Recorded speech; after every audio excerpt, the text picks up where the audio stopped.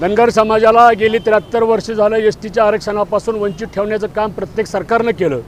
म्हणून महाराष्ट्रामध्ये पहिल्यांदा धनगर समाज रस्त्यावर आज उतरण्याचा निर्णय घेतला आणि संपूर्ण महाराष्ट्रामध्ये खऱ्या अर्थानं कोणताही पक्ष कोणतेही संघटना ना पक्ष ना नेता न पाहता आज खऱ्या अर्थानं युवक महाराष्ट्रामधले प्रत्येक रस्त्यावर उतरलेलं आहे. त्याला कारण आहे तर गेली त्र्याहत्तर वर्ष झालं धनगर समाजाला वंचित ठेवण्याचं काम सर्व सरकारने राजकीय पक्षाच्या नेते मंडळींनी जाणून बुजून केलेलं आहे.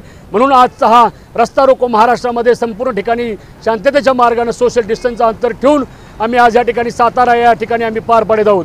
खरं वास्तविक धनगर समाजाची एस टीच्या आरक्षणाची मागणी जुनी आहे. त्र्याहत्तर वर्ष झाली ही मागणीचा आम्ही राजकीय नेत्यांना घेऊन सुद्धा आम्ही याचा प्रस्ताव महाराष्ट्र शासनाला पाठवला होता केंद्र सरकारला पाठवला होता.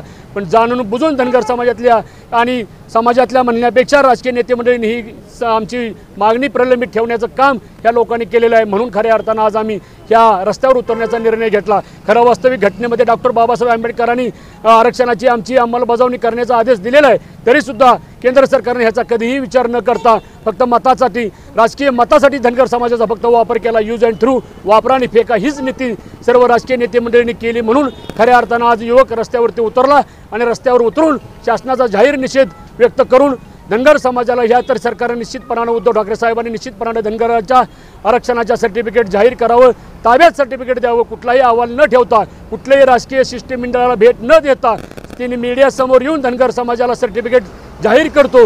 अशा प्रकारचा त्यांनी निर्णय त्वरित लागू करावा. आणि महाराष्ट्रामधल्या धनगर समाजातील मेंढपाळांच्यावरती सातत्याने अन्याय होतोय.